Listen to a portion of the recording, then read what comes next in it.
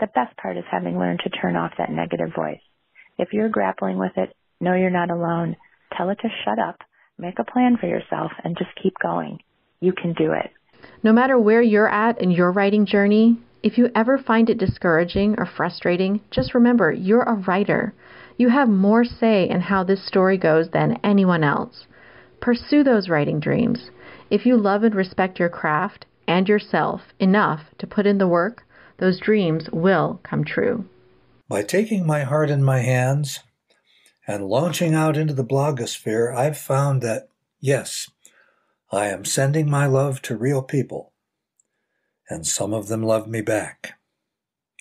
That's my success story as of today. If that works for an old fuddy duddy, there may be hope for you too. Thanks for listening.